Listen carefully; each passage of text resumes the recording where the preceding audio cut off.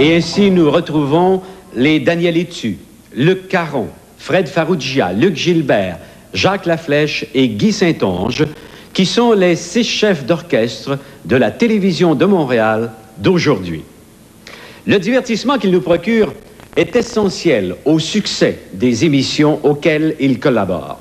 Alors qu'habituellement leur rôle est de faire danser et chanter les autres, ce soir, nous leur avons laissé le loisir de nous interpréter une pièce musicale de leur choix, ce qui est une façon bien originale de vous dévoiler en musique un côté de leur personnalité.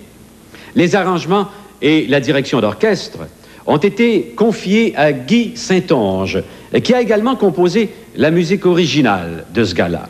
Mesdames, Mesdemoiselles, Messieurs, les chefs, à vous de jouer.